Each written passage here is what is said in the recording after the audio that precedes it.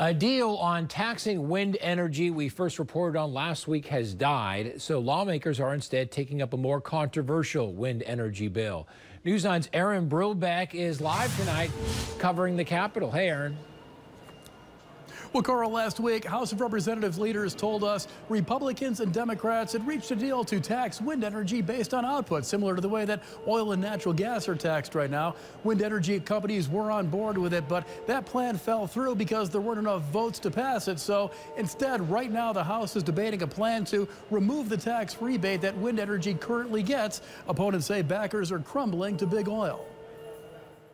Because that's who runs this building is the oil and gas. Senate Bill 888 would end the roughly $70 million refund wind energy gets every year from the state. Backers say it's not fair that the state writes a check every year when the industry pays so little in state taxes. Opponents of the bill say, good or bad, that's the deal the legislature signed on to. And if we now default on our legal agreement, we will most definitely be facing not only a lawsuit, but potentially facing a lawsuit that asks for damages in addition to the reversal of our decision.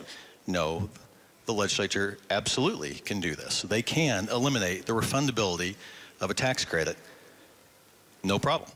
The wind energy the wind uh, industry, that is, says that the bill will hurt business. A lot of projects rely on the refund and could default on their loans. If the bill does pass, it heads over to the Senate. We're live on the scene on the story at the state capitol. Aaron Brilbeck, News 9.